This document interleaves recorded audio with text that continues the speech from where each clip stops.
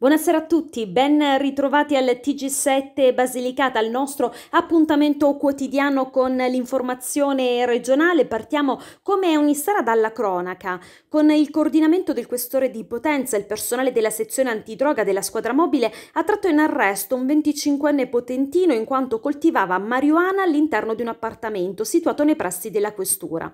Investigatori entrati all'interno dell'alloggio che il giovane utilizzava come laboratorio per effettuare tatuaggi hanno notato in un locale protetto da un armadio una tenda adibita a una serra indoor rivestita da isolamento termico, costituita da pannelli termoriflettenti, collegata ad un um, impianto di areazione per garantire il necessario ricambio per far confluire gli odori e alimentata con lampade alogene utilizzate per la fornitura della corretta gradazione luminosa.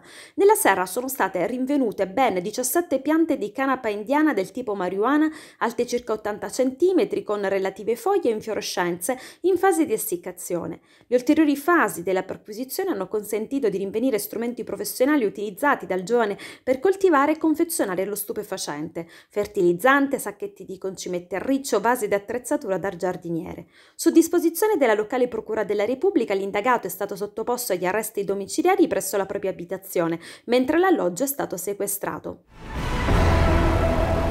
Questa mattina si è conclusa l'iniziativa lanciata da Acquedotto Lucano in occasione della Giornata Mondiale dell'Acqua, istituita dall'ONU per sensibilizzare e promuovere azioni di tutela della risorsa idrica.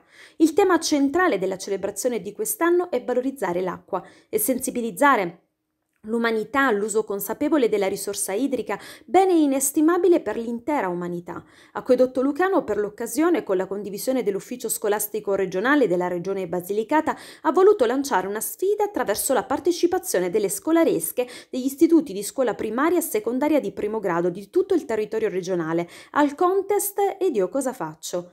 L'obiettivo è stato quello di stimolare la creatività dei più giovani che rappresentano il futuro e realizzare un proficuo momento di riflessione sul valore dell'acqua e sulle azioni che si possono compiere per tutelarla. La salvaguardia della risorsa idrica è una necessità che obbliga tutti, a partire proprio dai cittadini più piccoli, ad un uso consapevole di essa delle rappresentazioni e dei racconti prodotti dai ragazzi, compresi anche quelli riportati in formato digitale, è stato realizzato un libro donato questa mattina agli istituti scolastici che hanno aderito all'iniziativa, tra cui l'Istituto Comprensivo Torraca Bonaventura e l'Istituto Comprensivo Busciolano, dove si è tenuto l'evento conclusivo.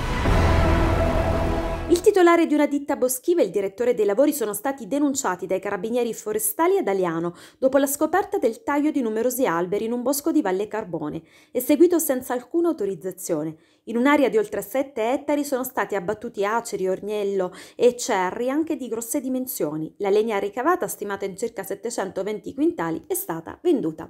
Io come sempre vi ringrazio, vi auguro una buona serata e a risentirci qui al TG7 Basilicata. A domani!